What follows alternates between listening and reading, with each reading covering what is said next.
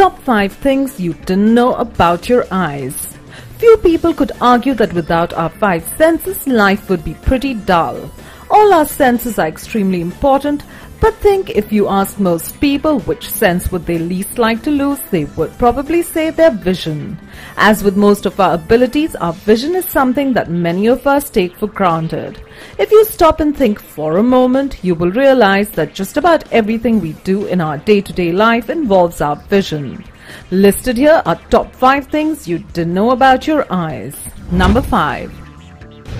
At number 5, diabetes is often first detected during an eye test. People who suffer from type 2 diabetes, the type you develop later in life, are often symptom free, meaning they often don't even know that they have it.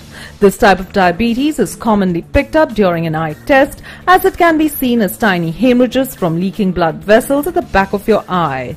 This certainly is good reason to get your eyes tested regularly. Number 4. At number 4, did you know that you see with your brain and not your eyes?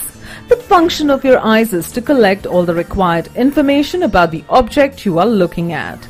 This information is then passed from your eye to the brain via the optic nerve.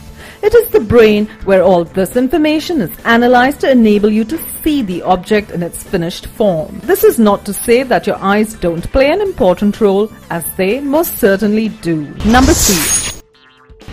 Coming in at number 3. Your eyes can adapt to blind spots in your vision. Certain eye conditions such as glaucoma and certain general health conditions such as having a stroke can lead to you developing blind spots in your vision. This would be extremely debilitating if it wasn't for your brain and your eye's ability to adapt to make these blind spots disappear. It does this by suppressing the blind spot in your affected eye and letting your other good eye fill in the gaps. It is the adaptation like this that makes your eyes so resilient. Number 2. Appearing at number 2, 2020 vision is not the best vision you can have. When people hear the phrase 2020 vision, they assume that this is the best vision possible. However, this is not true as 2020 vision refers to what the average adult should be able to see. If you imagine a typical eye test chart, the 2020 vision is probably only the line second from the bottom. The line below it is even smaller than 2020 vision and would mean you have 2016 vision. So don't be impressed next time someone tells you that they have 2020 vision. Number 1.